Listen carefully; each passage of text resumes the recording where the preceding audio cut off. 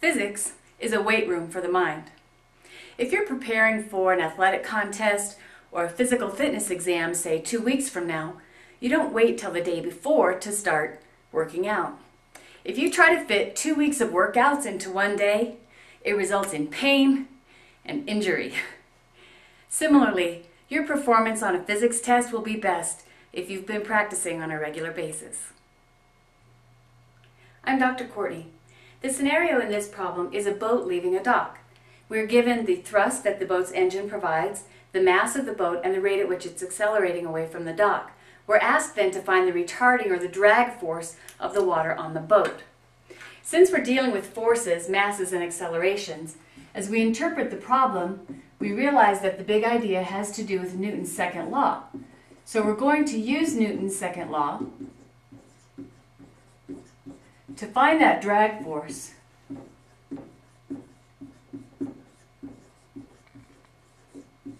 Let's call it F sub D. Given the thrust, let's call that force F sub T, the mass of the boat, M, and the acceleration.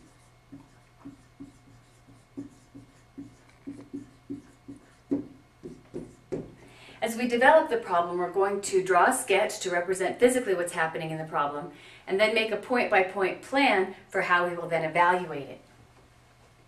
So the scenario is this. We have a boat accelerating at 2.5 meters per second squared. And I've changed these exact numbers a little bit so that you can work the problem out on your own later. We're given that the mass of the boat is 930 kilograms and that the thrust force provided by the boat's engine is 4.1 kilonewtons. As we move forward to evaluate this problem, one of the first things we want to do, since we know that it has to do with Newton's second law, is to make a free body diagram.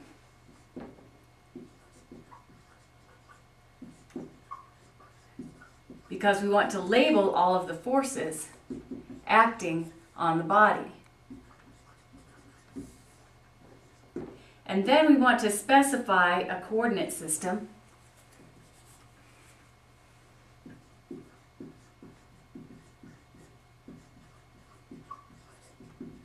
that will prevent us from getting mixed up with our positives and negatives.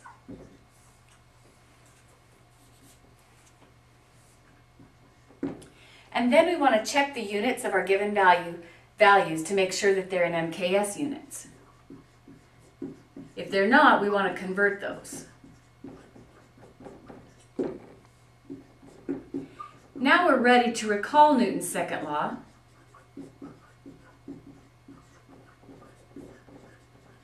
which is that the net force, or the sum of all of the forces, is equal to the mass times the acceleration. Now you'll notice that I put the net force and acceleration as vectors because those quantities have both magnitude and direction. We have more than one force acting on this boat, so we want to then express the net force as a sum of all of the forces acting on the boat.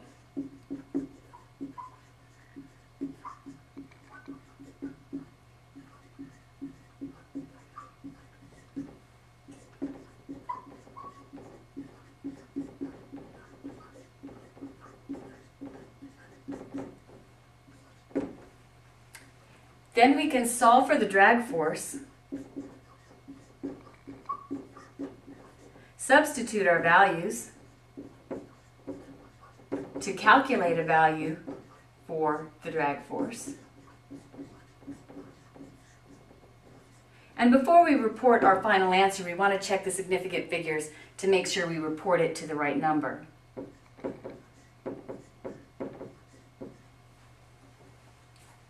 Now, as we begin to evaluate the problem, I would like to draw the free body diagram next to our original sketch. So if we have the boat represented by a point here, the boat has mass, so of course there is a force of gravity acting downward. There is the thrust force of the boat, and there is the drag force, which is acting to slow down the boat. Now we need to specify a coordinate system. I will choose the normal Euclidean system where x will be the horizontal axis to the right and y will be the vertical axis up with the positive direction up.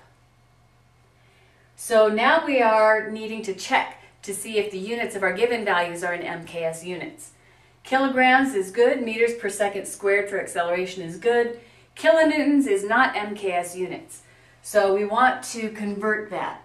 So the first and second steps of our evaluation are on the drawing.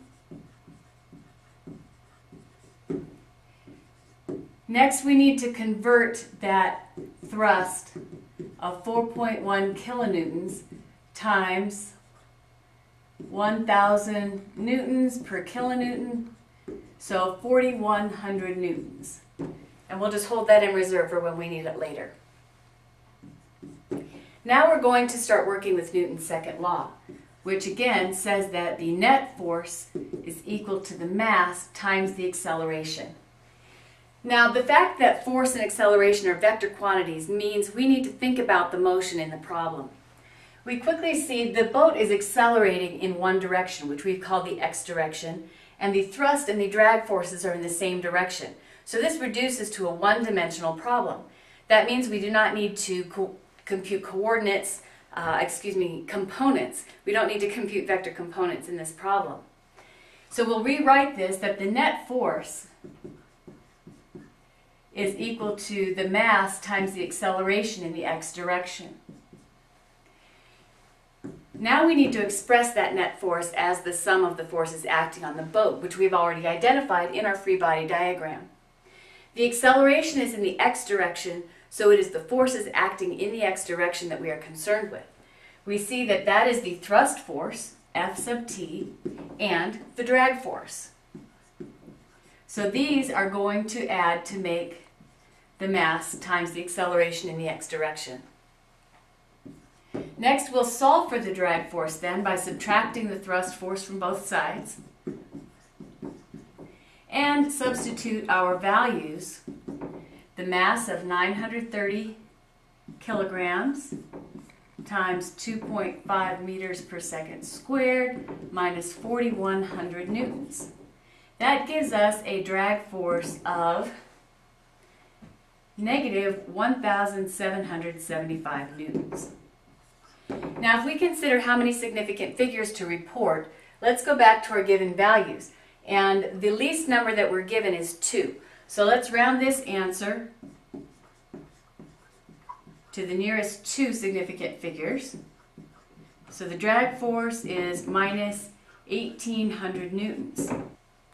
Now that we've completed calculations and have a numerical answer, we should take a moment to assess whether that answer is correct or whether it makes sense.